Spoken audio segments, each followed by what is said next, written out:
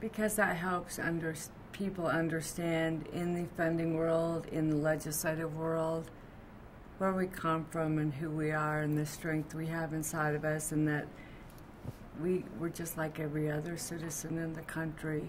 I mean, when we saw last session during our legislative session, we have a center, a satellite center in Gallup, and it's folks with disabilities that are leading that. And they, um, our representative carried a bill for independent living to expand on the Navajo Nation. And in disability, it was our worst year, they say, in over 20 years for disability.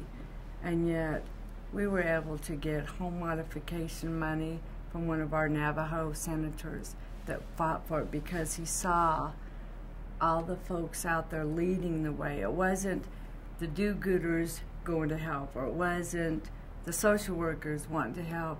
Was people with disabilities that were leading the way. So to understand our culture and who we are is a huge part of those kind of events.